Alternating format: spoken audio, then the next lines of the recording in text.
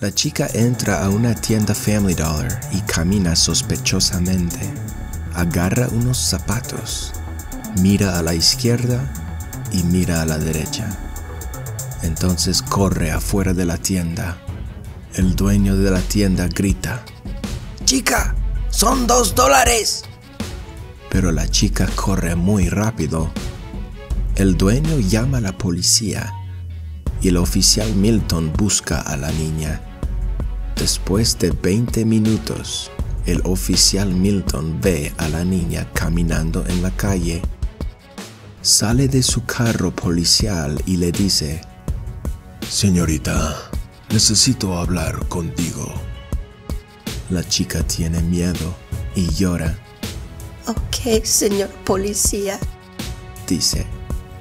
La chica entra al carro policial del oficial Milton y está muy triste. ¿Robaste un par de zapatos, señorita?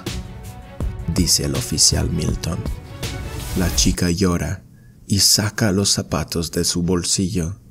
Sí, son para mi hermana bebé. El oficial Milton mira los zapatos. Siente mucha compasión. ¿Por qué robaste zapatos para tu hermana?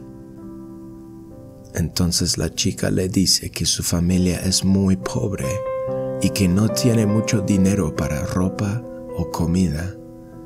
Su hermana necesita zapatos. ¿Voy a la cárcel? Pregunta la chica. Claro que no. Vamos a tu casa, dice el oficial Milton. El oficial Milton compra los zapatos de dos dólares. Van a la casa de la chica. Es una familia grande con una mamá, un papá y cuatro hijos. La más pequeña es la bebé.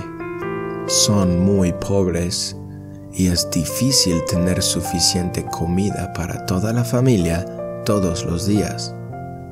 El oficial Milton siente mucha compasión para la familia y compra cuatro pizzas para la familia para comer.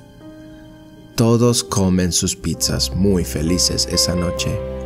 Hablan, se ríen y el oficial Milton está muy feliz.